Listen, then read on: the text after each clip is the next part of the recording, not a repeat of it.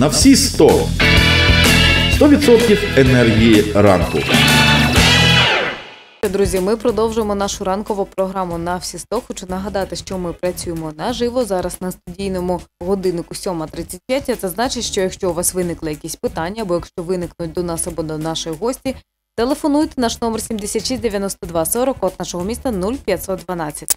Ну і друзі, як ми вже повідомляли, 4 лютого світова спільнота відзначила Всесвітній день боротьби проти раку, і цей день традиційно супроводжується різними інформаційними та просвітницькими заходами, направленими на підвищення обізнаності населення щодо різних проявів онкологічних захворювань.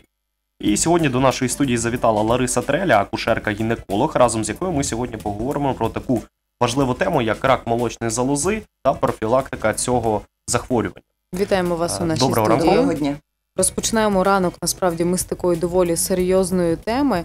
А, і зазначте, будь ласка, як взагалі відбувається профілактика а, з приводу цього захворювання, тому що насправді ось ми зазначали ну, перед тим, як ми зустріли вас у нашій студії, що дійсно важливо перевірятися і перевіряти свій організм, щоб розуміти, що з ним відбувається. Ну, на сьогоднішній день треба сказати, що онкологічні захворювання вони всі почали зростати. Від соціальних умов до особистих умов, але онкологія вона росте в нас. Е, Та як я акушер-гінеколог, я повинна розказати про профілактику візуальних форм, тобто те, що ми можемо самі себе забезпечити, е, застерегти, побачити і при необхідності звернутися. Такі перші дзвіночки можна сказати, так? Так, значить, до візуальних форм в акушер-гінеколога це називається е, огляд, е, це називається онкологічні захворювання грудної залози і онкологічні захворювання внутрішніх статевих органів. Е, це, зокрема, вважається вже в гінекології, це називається рак шийки матки. Або профілактика онкозахворювань е, раку шийки матки. Якщо розглядати, зокрема, онкозахворювання грудної залози, значить її профілактика до злоякісних захворювань вона складається з трьох етапів. Перше, це те, що повинна кожна жінка, і ми на цьому завжди акцентуємо увагу, вона повинна самообстежувати себе. При найменшому виявленні якоїсь е, патології, незручності, дискомфорту, вона повинна звертатися на первинну ланку. Ну, раніше це називався акушер-гінеколог, тепер називається терапевт, ваш сімейний лікар. При необхідності сімейний лікар далі відправляє вас до військового спеціаліста, тому що акушер-гінекологи вони називаються так само військовими спеціалістами. Але зразу хочу сказати, якщо до військових спеціалістів інших спеціальностей е, ви йдете по направленню по новій системі зараз, то до гінеколога ви просто звертаєтеся за необхідністю. Оце те, що відкрило ну, двері для того, щоб жінка, наша українська жінка, мала можливість отримати доступну допомогу. Другий момент, е, якщо ми вже, Давайте е, я перепрошую, але розберемося по порядку. Так, ось першим моментом. Ви зазначили, що якщо жінка відчуває якісь незручності, так щось в неї там болить, не болить.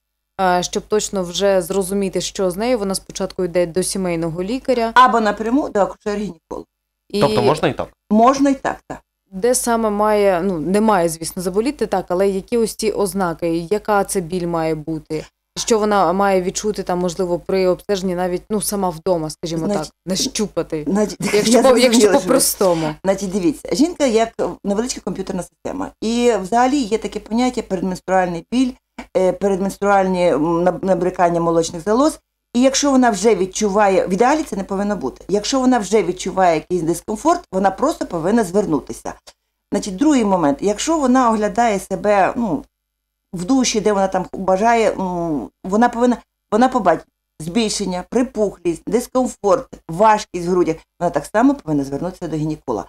Третій момент, якщо вона просто-напросто побачила якісь виділення з грудних залоз, вона так само тим більше вона йде звертається до акушер-гінеколога.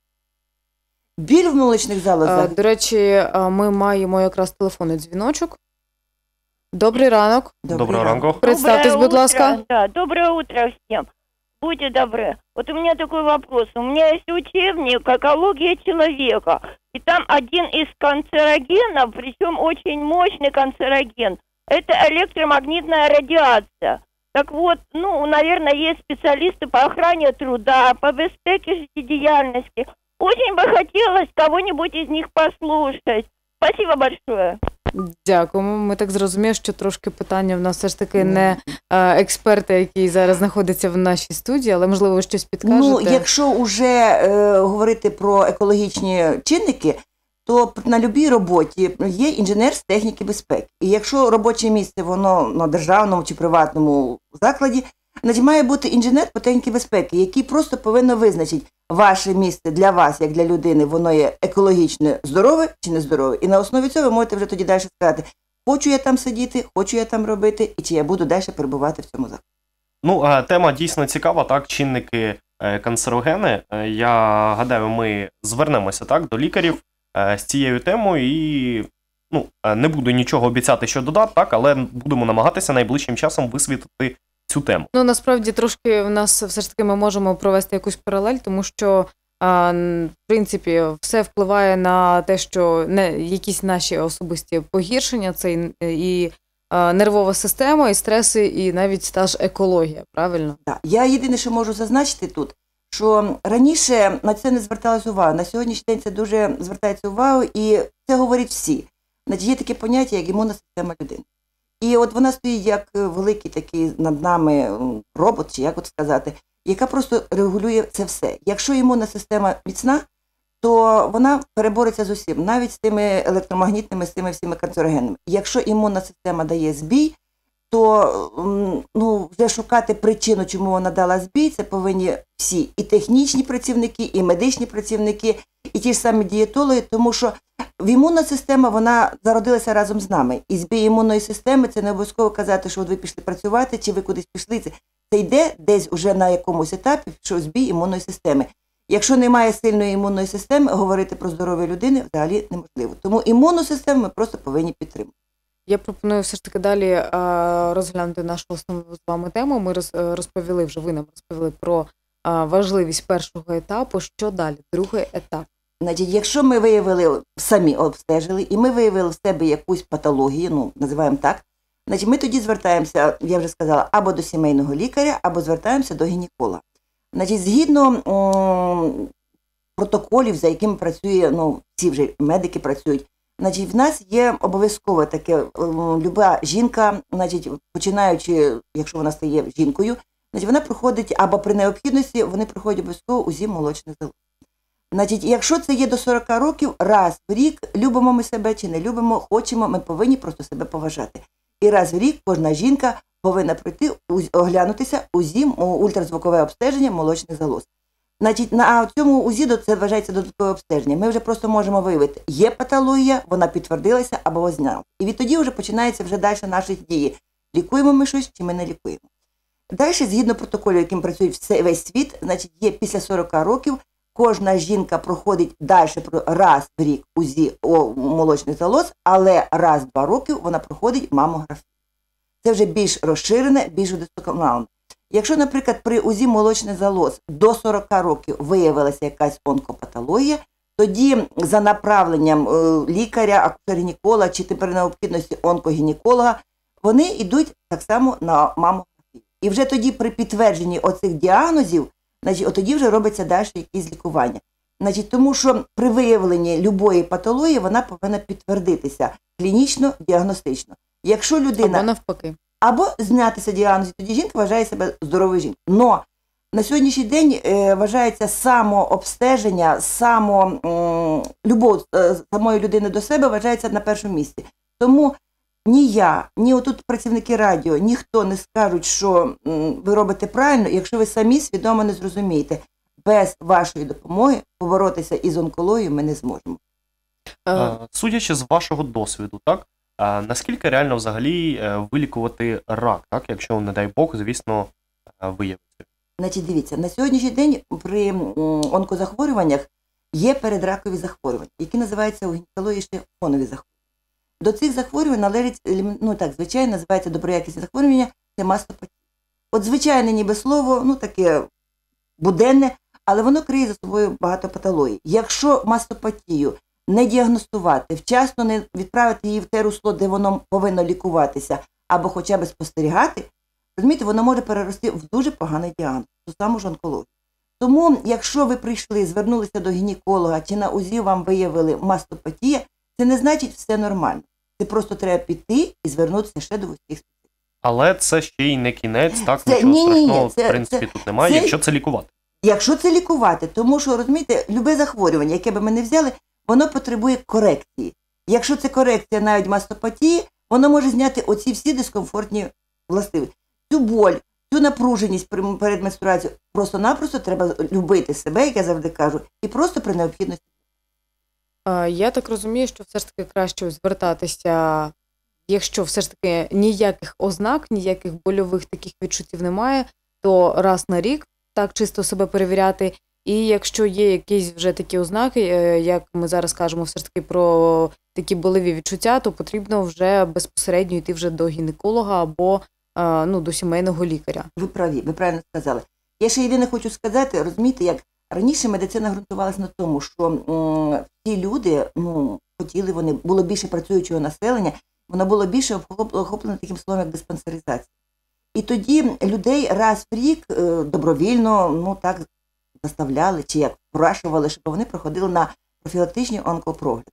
Зараз це вже відійшло. Розумієте, як ну, настав інший час, і деякі моменти людина повинна сама просто самоусвідомлювати. Ну, так як ми йдемо в магазин, купляємо, так як ми йдемо в аптеку, купляємо, так само і медичне обстеження, воно повинно відходити до казусів необхідно.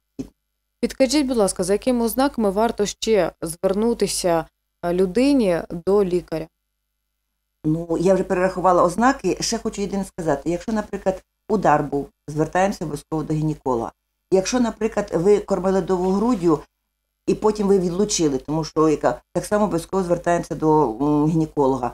Так само, якщо в нас є, наприклад, е, порушення менструального циклу, це я вже чіпаюся до акушер гінеколога так само обов'язково ми звертаємося до акушер гінеколога Якщо навіть е, вас подивився хірург або ендокринолог, або ну той же самий сімейний лікар, е, він на сьогодні вважається самим основним спеціалістом, і він виявив, якісь некомфортні, ну йому на його полі, ви так само звертаєтеся. Тому що жінка, це я завжди кажу, це велика комп'ютерна система. Вона залежить і від щитовидної залози, і від головного мозку, і від яєць. Тому казати конкретно до кого ми звернулися, то саме основне виявити, побачити і вчасно виявити. А можливо, у вас є якісь статистичні дані так щодо Миколаївської області, наскільки у нас це розповсюджена хвороба, тому що ми знаємо, що рак молочної залози це є одним з най, ну, скажімо, розповсюдженіших видів раку. Ну от я тільки скажу статистику, ну я не буду, ну це називається страшити Миколаїв місто. Я тільки скажу, що у Європі рак грудної залози займає перше місце. У Європі це 180 тисяч е, є захворювань. Кожен рік в світі виявляється більше одного мільйона захворювань на раку грудної залози. На превеликий жаль, Україна зайняла перше місце серед раку захворювань молочної залози. А як ви гадаєте, з чим це пов'язано? це просто-напросто люди не хочуть себе любити. От розумієте, ну якщо людина звертається, от е, в нас в минулому році е, статистика сказала дуже багато, що у нас рак по- помолодшав і став більше злоякісніший. От візьмемо, якщо жінка молодого віку, 80-го року народження, і в неї болить спина. Вона е, чи свідомо, чи несвідомо, вона просто ходить по лікарях. Поки вона не звернулася до невропатолога, вони виявили вже запущену форму раку, і тільки тоді її відправили до гінеколога. Просто-напросто на сьогоднішній день займатися самолікуванням це от болить. Ми просто йдемо, ми не ждемо, коли постане не не дзвіночок, а неха- непоганий діагноз. Ну, насправді так, це є проблема в тому, і в першу чергу тієї людини, у якої щось болить. Вона все ж таки очікує, що в неї це переболить, і вона не звертається до спеціалістів, і таких випадків дуже багато. Це в основному є такі випадки, тому що розумієте, раніше я не скажу, що медицина була доступніша. Просто раніше, мабуть, ми себе більше любили. На сьогоднішній день всі ми боїмося лікаря, всі ми боїмося аптеку. Розумієте, тому що на сьогоднішній день ну, трошки перебудовується сама структура реорганізації медицини. І от вона трошки пішла так. Якщо раніше йшли до одного спеціаліста, і він міг дати діагноз у всі лікування всіх, ну така була медицина. То на сьогоднішній день ви йдете одного лікаря, його право відправити вас на дообстеження другого лікаря. Раніше цього не було. Розумієте, раніше ну, називається був лікар-спеціаліст, і він міг тобі надати це. Але зараз я ж кажу, в чому плюс? В нас є сімейний лікар. І сімейний лікар він повинен вчасно зорієнтуватися, тільки до нього треба прийти.